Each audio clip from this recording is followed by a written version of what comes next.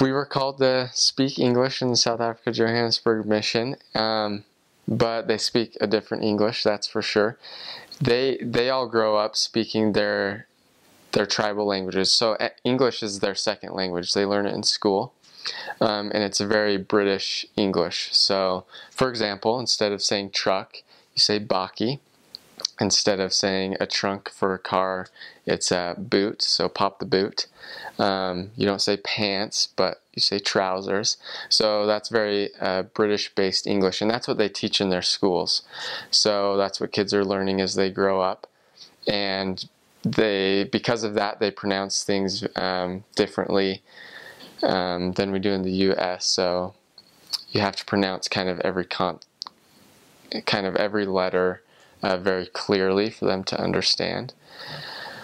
Um, so that's kind of their English. And when I was there, they have a very strong ac accent depending on what their first language is.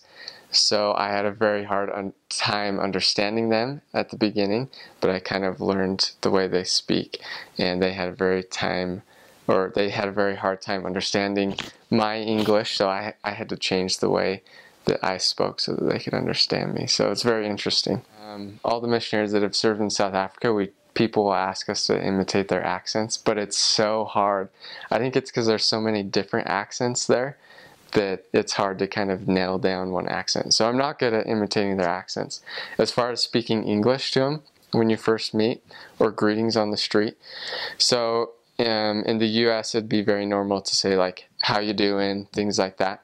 They don't understand like "How you doing?" So it's got to be very uh, kind of more formal in what they learn in school. So "How are you today?" Very clear, and they can understand that. Um, how is your day going? Things like that.